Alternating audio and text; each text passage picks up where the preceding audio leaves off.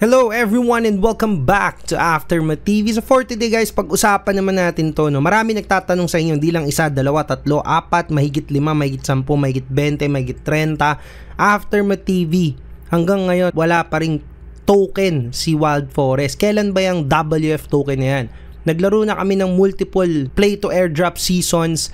Naglaro na kami ng multiple seasons. Marami na kaming WF. Hindi namin alam gagawin namin. Sobrang dami kailan ba kami papaldo. So yan ang pag-uusapan natin on this video. So make sure to subscribe to Aftermath TV. Make sure to pump the like and make sure to follow me on my Facebook page. Without further ado, let's go. Okay guys, sa part pa lang ng video na to, sasabihin ko na sa inyo lahat, hindi ko alam kailan ang TGE or ang token generation event ng Wild Forest. Wala pong inside info si Aftermath TV. All I know is that uh, magkakaroon yun at the, it is of course coming soon. Yes guys, so bakit sinasabi ni Aftermath TV na coming soon? Kasi uh, there has been uh, a news out there. Well, sila actually nag-post nito yung team ni Wild Forest na they were able to integrate nga yung Wild Forest sa token terminal. So ano ba ibig sabihin ng Aftermath TV, no?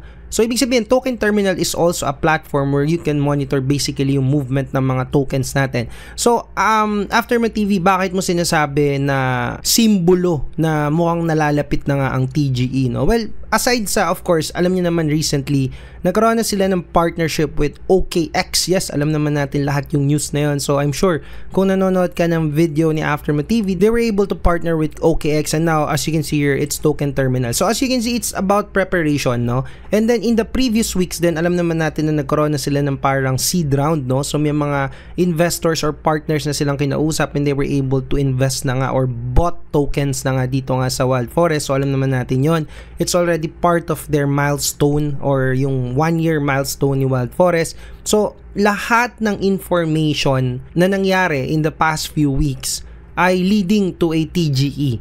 So we expect na, again, hindi ko alam kung kailan, pero we do expect na malapit na yon. So, ano ba ang uh, dapat na gawin ngayon, Aftermath TV, no? Well, again, not financial advice and do your own research, pero si Aftermath TV, we have been saving funds na, no, for us to buy during the TGE. Kasi nga, we expect na papaldo na naman si Aftermath TV, especially kung magkakaroon tayo ng early access, no? Or uh, whitelist or uh, I would say yung parang early investor, ganyan ganyan, etc. etc. or sa private round, yan. Yung mga ganyan yung mga term nila sa ano eh, sa Web3, di ba? But anyway, ang point ko lang naman dito is that if you're bullish on Wild Forest and on the WF token, then it's about time to save up, not financial advice, and it's about time to prepare for it. Do your own research and make sure guys no, wag na wag yung gagayahin sa Aftermath TV. Ako lang naman to and because I'm bullish on the WF token, Siyempre, hindi natin palalagpasan yung opportunity na pumaldo na naman tayo, ba? Again, guys, uulitin ko, NFA and DYOR, malalaki na kayo, matagal na kayo sa space na ginagalawan natin. Alam niyo na yung galawan dito. Wag na wag na po kayo magpapadali. Okay, so again, I'm just sharing my thoughts and uh, I would say WF is going to be a very good token. Uh, long term hindi ko masasabi. Pero short term I think no? Uh, well I think papaldo si Aftermath TV kasi nga we were able to play play to airdrop.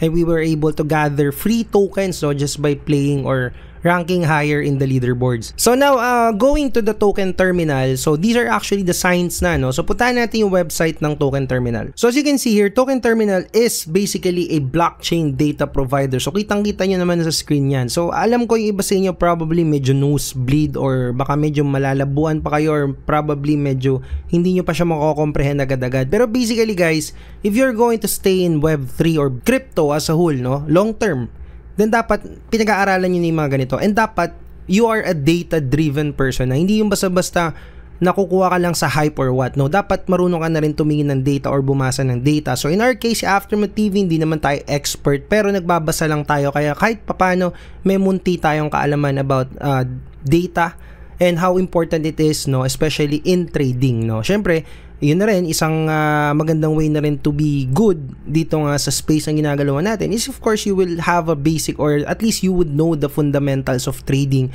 and at the same time nga, you know how to read data. So going forward, so if you click explore here, so mapupunta kayo dito, it's a very busy uh, screen no or site pero okay lang yan, walang problema yan. Ang kailangan nyo lang gawin if you want to see Wild Forest, you go to the upper left part of your screen and from here you can just type Wild Forest. So as you can see here, they are now a partner or available na nga si Wild Forest dito nga sa token terminal. So, right now, wala ka pa makikita about WF dito. Syempre, obviously, wala pa talaga siya. But, it's good to know na from here, you'll be able to monitor yung active addresses. No? So, ibig sabihin, gaano ba karami naglalaro Aftermath TV? So, as you can see here, we have the 180 days. Pero punta muna tayo sa 7 days. And then, as you can see here, daily, you have uh, approximately, no, on the average, in the last 7 days, you have 108 active addresses. So, ibig sabihin mga kapatid, no, sobrang dami talaga naglalaro ng Wild Forest despite the fact na ito na nga, no, um, tapos na yung season, we are currently in the off season as of this recording.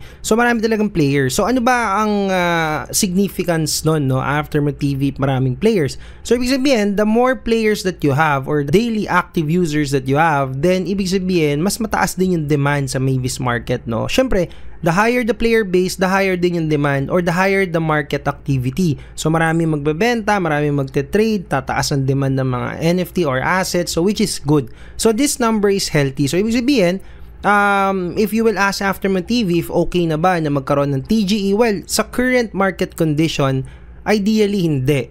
Even sa Aftermath TV, I would say hindi talaga magandang time to to release the WF token pero if you are going to base it with data with the current daily active users yung marketplace activity then I would say um, you have a good ano na lang basis then I would say pwede pero again, hindi expert sa Aftermath TV. It will be up to the Wild Forest team if they think it's the best time to have a TGE to launch a token. Kasi nga, ang tendency minsan, ipangit kasi ang market condition. Usually, you expect a pump and dump, which nangyayari naman yon And ang masakit kasi doon, minsan, pagkapangit nga yung market condition at nag-dump, sometimes ang hirap makarecover. So again, mangyayari doon, unahan talaga. But again, guys, hindi naman tayo manghuhula, hindi natin alam, baka naman mamaya, kahit na pangit yung market condition, eh maging maganda pa rin naman yung sitwasyon ng uh, WF token if they will launch it nga no. So anyway, from here, uh, you can now uh, play with this. So if you want to also see the active addresses weekly para lang may comparison ka, So ayan, flat nga no, flat yung weekly. So the pink or the purple yan yung weekly and then the green is yung uh, daily. So basically in the last 7 days, maganda talaga yung player base, no? O yung uh, daily uh, active users dito nga or players dito nga sa Wild Forest. So if you will press for example 180 days, as you can see talaga napakaganda. Tumaas talaga sila especially nung June, no? Nag-start yung June so nagkaroon ng pump and sobrang grabe ang dami naglaro and kasi dito rin yung time na ni-release nila yung uh, content creator program And syempre, alam niyo naman, nagkaroon ng marami exposure si Wild Forest. So, malaking tulong din talaga yung mga content creators. So, anyway, that's how you, ano, no, um, you analyze or study data. You also have here the monthly if you want that. So, dalawa lang usually nakikita dito. So, it's up to you. Pwede namang tanggalin mo yung weekly, pwedeng daily yung isa. Okay lang yan. Palaruin nyo na lang yung metrics niya. Then, even yung gas use, no? So, ibig sabihin niya na yan na yung mga gas use niya, which is again, napakababa nga kasi ng gas fee sa Ronin Network. So, wag na kayong magtaka. So, ano ba ang final thoughts ni Aftermath TV? So, congratulations to this partnership with Token Terminal. So, eventually, hopefully, pag nandito na yung uh, WF or live na, we'll be able to analyze it using the Token Terminal platform. So again, hindi lahat kayo ma-appreciate to pero dun sa mga marunong na tumingin or magbasa ng data, I'm sure you will be able to appreciate it. And again, The TGE, I'm pretty sure it's coming soon. Hindi ko lang alam kung kailan, but pwedeng mali ako, pwedeng ma-delay siya.